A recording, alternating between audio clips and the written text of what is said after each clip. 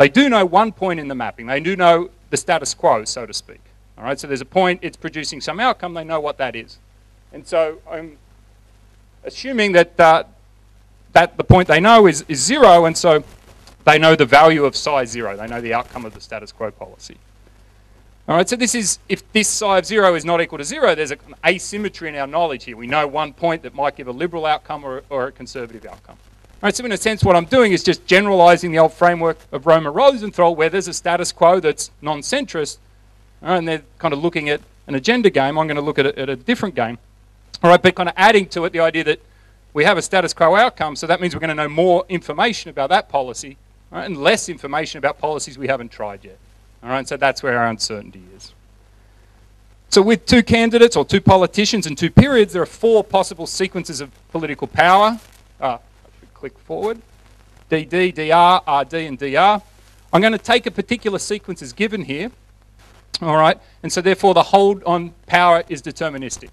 All right, so I'm just going to kind of look at particular sequences of power. I'm not going to model the election.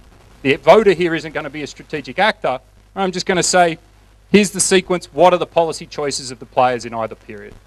All right, this is makes my life simpler. It's not essential. And one other benefit of it is it really differentiates this story from the disciplining story.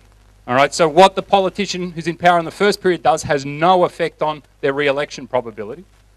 All right, so there's no kind of threat of re-election trying to maximise your chance of re-election. You're certain to lose power or you're certain to retain power, and I'm going to look at what the policy choice in those different sequences are.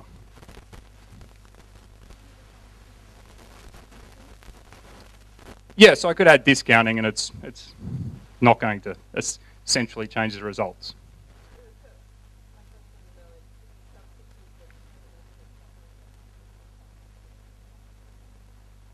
Substitute the determine. Yeah, well, I think the answer is yes, but we'll come back to it. All right. Okay, so to give you a little more idea here, and I, I promised to give you some pictures to explain things, here's just a kind of representation of the framework I'm going to be looking at. All right, so we're choosing policies on this space, and the policy space is the set of integers off the positive and negative infinity.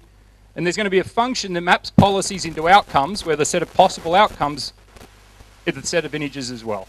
All right, so for gamma equals 1, we're going to have a Republican has an ideal outcome of 1, the Democrat has an ideal outcome of negative 1, and the voter who I'm going to consider for the welfare implications on the voter is at zero. All right, so it's just a voter with guys on the politicians on either side. But what they care about directly are the outcomes, and they have then indirect preferences over the policies. All right.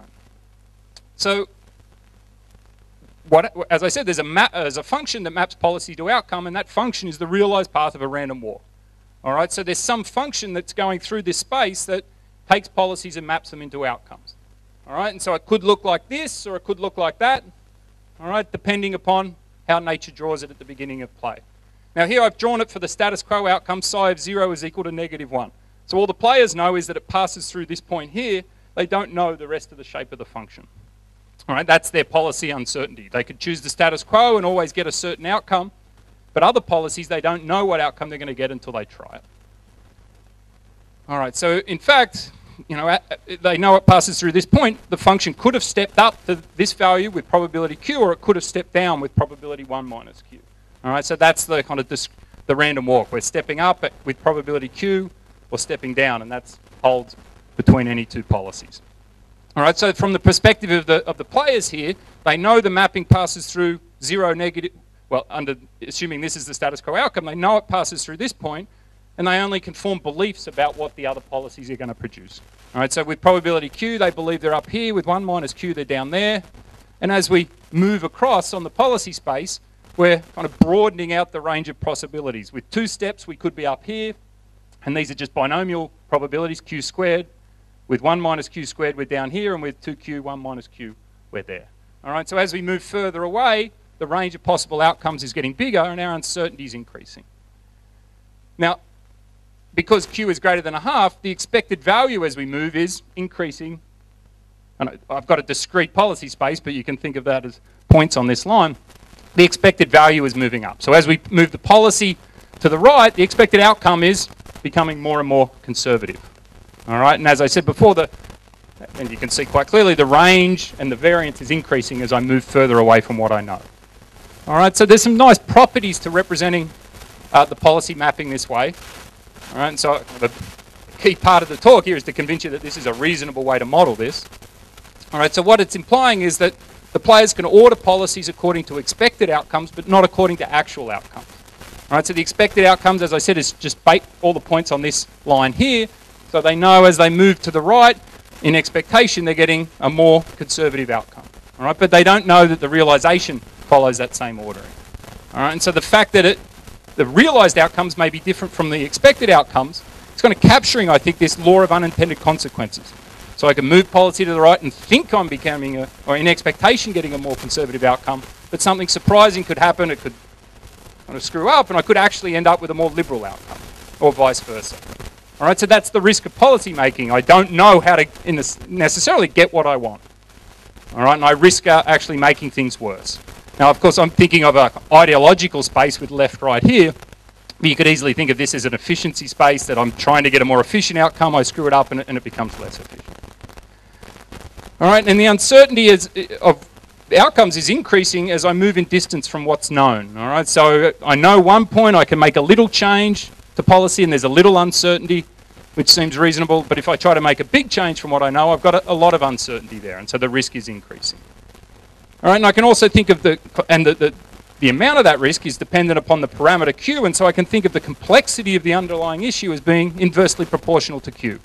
And so as Q approaches 1, I'm almost certainly moving on this line up here. And so I can predict pretty accurately about what's going to happen when I change policy. But for Q near a half, there's a lot more variance, it's bouncing around. I'm a lot less confident, I understand the process a lot less, and so there's a lot more risk involved in policy making. All right. So we could talk uh, for quite a while more about these properties, but it's a different way of representing policy uncertainty here in a rich policy space. And what I would like to convince you of is that it's a, it's a reasonable and, and an appropriate way to represent that. All right, so now I'm going to look at what are the incentives of politicians to choose policies when power alternates between, say, a Democrat and a Republican. All right, so to give you a quick rundown of the kind of results I'm going to present, in case people do fall asleep, I'm going to start with a benchmark result of just, and it's a trivial result to say what happens when we know the policy mapping completely, when there's no uncertainty. All right. Then I'm going to say, well, suppose we don't know the mapping, and I'm going to consider the simplest case I can find, which is minimal polarization or minimal ideological difference.